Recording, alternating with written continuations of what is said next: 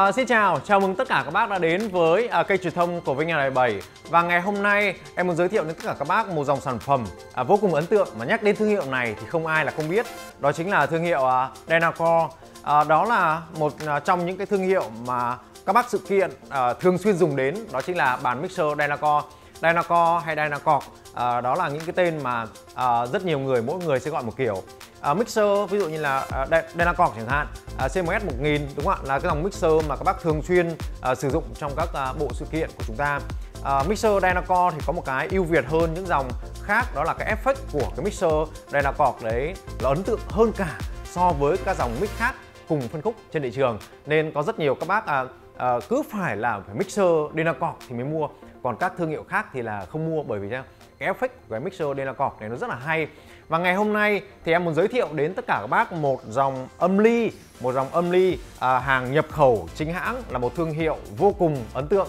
Đó chính là à, âm ly à, Denacore à, dòng à, âm ly Denacore này thì thường đi kèm với à, đi cùng với uh, loa của Electro Voice, à, uh, sub của Electro Voice và tạo ra một cái chất âm uh, khá là hòa quyện với nhau tức là chúng nó là một vậy. Nó giống như là non Nexo thì phải đi cùng với âm ly của Nexo vậy. Uh, Nexo thì thường xuyên đi cùng với uh, Power Shop đúng không ạ? Nó tạo ra được một cái chất âm nó dùng dường như dường như đó là hòa quyện với nhau tức là bản thân nó là một. Đương nhiên chúng ta vẫn có thể dùng các âm ly khác để hòa quyện cùng với uh, loa của Electro Voice nhưng đi cùng với nó thì nó hoạt động được hết công suất và ra được hết chất thì đương nhiên dòng âm ly khác đi vào à, chi phí có thể rẻ hơn một chút nhưng chất âm nó vẫn tạo ra được cái sự ấn tượng bản thân à, Electro Voice đã bản thân mặc định đã hay rồi nhưng mà đi cùng với à, âm ly của Dynacord thì nó còn à, hay hơn nữa đúng không ạ? Và ngày hôm nay thì em muốn giới thiệu đến tất cả các bác một dòng âm ly à, của Dynacore vô cùng hấp dẫn và vô cùng ấn tượng. Đây xin mời các bác có thể xem. Đây là dòng âm ly của à, Dynacore. À, với toàn bộ à, dòng âm ly này thì bên trong này đã có sẵn những cái controller để chúng ta điều khiển toàn bộ trên này. Nếu các bác nhìn ở đây thì có thể biết rằng là không có nút bấm và không có kênh A, kênh B đúng không ạ? Nhưng toàn bộ là điều khiển bằng controller bên trong này hết. À, với dòng sản phẩm này đó chính là à, Dynacore L2000 à, 2800 à, FD. Đây là một dòng sản phẩm mà rất là cao cấp và đặc biệt trong con này thì có sẵn cái uh, controller controller điều khiển ở bên trong nó. À, và đây là một dòng âm ly hai kênh. À, nếu như các bác có thể nhìn đây thì đó là uh, L2008 FD. Đây là một uh, series hai kênh uh, nếu như chạy ở hoạt động ở chế độ 8 ohm đó chính là khoảng 700W một kênh À, nếu như các bác có thể thấy rằng những dòng sản phẩm mà xuất xứ châu Âu hay những dòng sản phẩm cao cấp chính hãng ấy thì đa phần toàn là hai kênh đúng không ạ? Rất ít sản phẩm bốn kênh mà những dòng sản phẩm bốn kênh của những dòng sản phẩm này thì nó khá là đắt tiền nhưng bản chất của những dòng à, sản phẩm như này ở à, những dòng sản phẩm chính hãng như này thì thường nó chỉ là hai kênh thôi. Và nếu như các bác có thể thấy thì à, những dòng sản phẩm này thì đa phần công suất nó khá là nhỏ. Không như những dòng của chúng ta đúng không? là 800W là 1000W hay 2000W một kênh đúng không ạ? Nhưng những dòng sản phẩm này thì đa phần nó khoảng tầm từ à, 300W cho đến tầm à, 600 700W là rất là lớn rồi. À, và đặc biệt ở những dòng âm linh này nó có thể hoạt động được đó là à, 2,7 ohm tức là một kênh này có thể linh vào ba chiếc loa. Đầu tiên nếu chúng ta đánh một chiếc loa đúng không ạ thì là 8 ohm, hai chiếc loa là 4 ohm và ba chiếc loa là 2,7 ohm. Thì nếu như mà với con loa này thì chúng ta có thể đánh được cùng một lúc là ba loa, ba loa liền, tức là, à, là đánh loa là linh loa này xong đến linh loa khác, linh loa khác, ba chiếc loa cùng một lúc.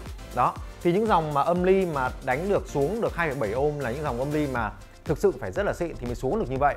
Còn đa phần chúng ta là xuống 4 ohm là đã gọi là là hoành tráng lắm rồi đúng không ạ? Ok trước mặt các bác đây đó chính là âm ly Delacore của chúng ta. Nếu như các bác nhìn tổng quan thì các bác có thể thấy rằng là con âm ly này rất là khỏe khoắn đúng không ạ?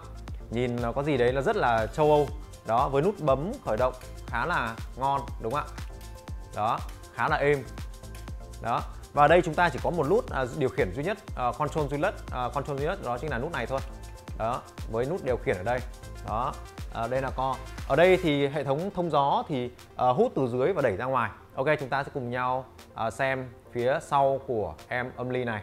Đó các bác à, nhìn thông số. Ok xin mời các bác nhìn vào thông số đấy à, trước mặt các bác đây đó chính là phía sau của con à, âm ly này.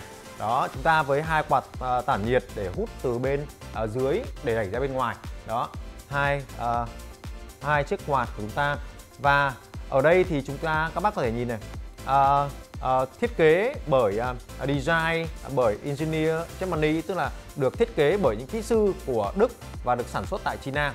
Đây là dòng sản phẩm mà như em đã có nói ngay từ ban đầu đó là những đồ công nghệ cao thì thường các hãng sẽ sản xuất tại ở China. Nhưng toàn bộ công nghệ cũng như thiết kế là của Đức hết. Bởi vì uh, các nước châu Âu thì đánh thuế uh, đánh thuế về môi trường rất là nặng nên là nếu như mà sản xuất những đồ công nghệ như này đây à, các à, thông số như sau ở đây chúng ta đang có đây chính là phần tiếp mát này đây là những phần à, tiếp mát.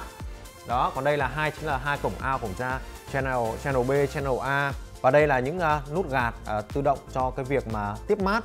Đó đây uh, spec công hướng dẫn này grid này. Ở đây có uh, các thông số rất là chi tiết. Và đây là thông số uh, của Denacore made in China này. Đó các bác có thể xem đây uh, công suất của chúng ta là 7 khoảng 700W ở chế độ 8 ohm. Đó và chúng ta vẫn có hai cổng uh, link. Uh, hai tín hiệu đầu vào hai tín hiệu đầu vào và hai cổng link để chúng ta link xuống uh, các uh, thiết bị âm ly tiếp theo. Ví dụ như các bác đưa ra tín hiệu hai tín hiệu thôi nhưng mà chúng ta có nhiều cái hệ thống âm ly thì chúng ta sẽ link bằng cái cổng này để chúng ta link cái tín hiệu xuống. Ok đây là toàn bộ uh, toàn cảnh qua của con âm ly này các bác cùng xem. Rất là đẹp và rất là chất đúng không ạ? Đó xin mời các bác uh, xem uh, một vòng đó. À, với thông số của âm ly này đó chính là nếu như ở chế độ 8 ohm đó là 700W một kênh còn nếu như ở 4 ohm là 1400 1400W đúng không ạ? Và với 2,7 ohm là 2000W và với 2 ohm đó là 2300W các bác thấy khủng không ạ? Với những dòng với những dòng sản phẩm à, như thế này thì thường à, thường người ta tính ở chế độ khoảng là à, 2 ohm để link các loa với nhau.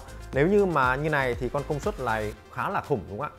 Nhưng đa phần ở nước ngoài thì đa phần người ta linh loa để người ta sử dụng được hiệu quả hơn. Nhưng Việt Nam mình đa phần là dùng một loa thôi. Nên chúng ta thường là uh, đánh một loa thôi. Nên chúng ta thường là thường tính là tính 8 ôm. Ok bây giờ em sẽ kết nối toàn bộ này các bác cùng xem. Hiện tại thì ở đây em đang sử dụng đó là vang Maloli và ở với con âm ly ở trên thì chúng ta sẽ đánh hai loa hai bên. Còn ở bên dưới chúng ta sẽ bridge lại. Uh, khi xuống đó xuống 8 ôm thì chúng ta sẽ đánh hai chiếc uh, xúc ở dưới. Đúng không ạ? Ok hai kênh trái phải. Và súp. Đây với hai kênh này chúng ta sẽ đưa vào tín hiệu ờ, ở phía trên này đó là chúng ta đánh hai loa. Ok còn với kênh này chúng ta sẽ đưa xuống đánh súp. Thường đánh súp thì bên em sẽ setup ờ, con dưới này brick để chúng ta đưa vào tín hiệu kênh A. Và với uh, những dòng sản phẩm này thì chúng ta uh, bridge kênh này lại chúng ta phải đánh một lúc được hai chiếc súp này. Đó ok và bây giờ em sẽ link súp để các bác cùng xem à, với đầu này thì em đã đấu đó là à, ở đây à, có hướng dẫn đây một cộng và hai cộng. Các bác có thể xem. À, nếu như chúng ta gặp Boris thì chúng ta sẽ đấu bằng một cộng hai cộng và cổng A. Thì cổng này bên em đã đấu cái điều đó rồi. Ok chúng ta đưa xuống đây. À, một kênh này sau đó chúng ta sẽ đưa chiếc xúc xuống chiếc xúc đầu tiên để chúng ta đánh chiếc à, xúc đầu tiên. Sau đó chúng ta sẽ dùng một cái sợi dây linh để chúng ta sẽ linh từ à, chiếc này à, xuống cái thứ hai. Đó ok. Đây các bác có thể xem uh, link từ chúng ta đánh kênh uh, này chúng ta bridge xuống và đưa tín hiệu xuống kênh uh, kênh này. Đây chúng ta sẽ đưa tín hiệu xuống xúc này và sau đó là từ uh, chiếc xúc này chúng ta sẽ link xuống ở chiếc uh, chiếc dưới. Đó. Rồi ok. Uh, em đã kết, kết nối khá là đơn giản đúng không ạ? Vào setup menu này. Phần đầu tiên đó chính là phần preset. Ấn phát nữa để vào này. Trong này thì nó có hai phần chính đó là load preset hoặc là lưu preset mà mình vừa cài đặt. Thì ở trong phần ờ, load preset này nó đã có rất nhiều preset sẵn có của hãng. Chúng ta hoàn toàn có thể sử dụng luôn những cái preset như này. Ok back lại này. Phần này thì đây sẽ là cái chỗ mà chúng ta sẽ lưu các preset của uh, các kỹ thuật viên tự làm. Ok. Tiếp theo là AMP Setup. Phần này thì ờ, chúng ta sẽ chỉnh ờ, các chế độ Sitter Panel Bridge đây. Để normal khi để normal thì chúng ta sẽ có thể setup được Sitter hoặc là chuyển sang Bridge để panel hoặc chập kênh. Đây chính là cái đầu ra của hai kênh của đẩy như đây ờ, em đang để là đầu ra kênh A thì ra, đầu ra B ra B, nhưng chúng ta hoàn toàn có thể điều chỉnh được. Ví dụ, ra A và B luôn, thì nó sẽ là panel luôn. Đó.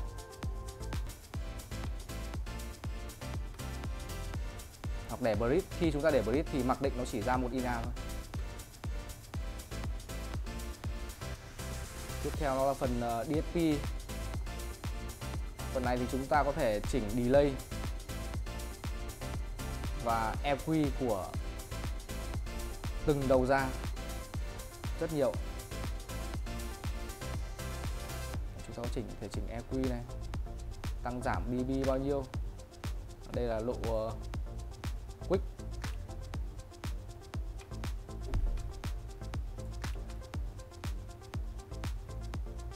Tiếp theo đó là phần ờ, uh, loát monitor nhưng mà cái này thì chúng ta phải cắm loa vào sau đó chúng ta mới loát được các chế độ monitor ra loa. Phần tiếp theo chính là phần uh, reset về mặc định. Vậy em sẽ ấn ấn thử cho bác xem.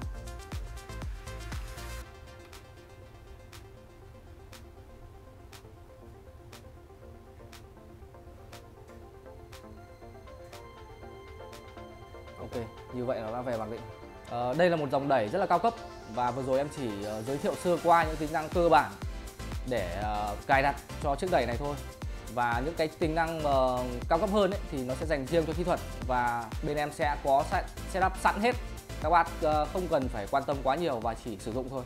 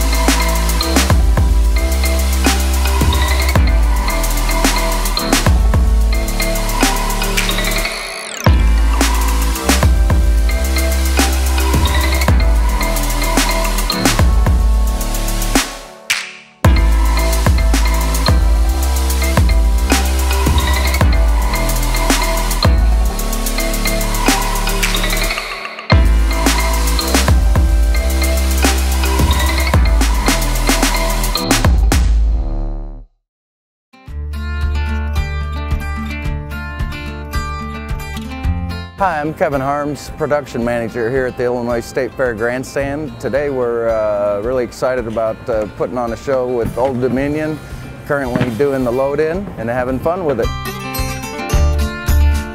Mason Sound started back in 1984.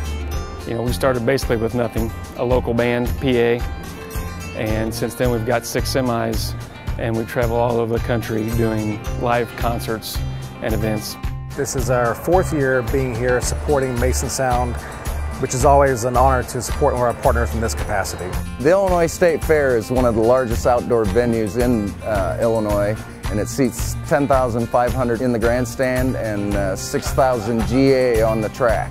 A lot of people attend here every year. Anything you can imagine as far as entertainment and also the food.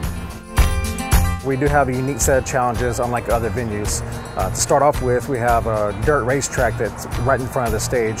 And throughout the day, we can have horse races or car races, which has an impact upon our schedules. Uh, it's definitely very important walking in to, to mix a show at a fair or a festival like this where you don't get to necessarily spec the exact PA you want or the exact box count. Uh, to walk into a system that as soon as you an X2 Dynacord rig, uh, take that any day of the week in a situation like this. It's great.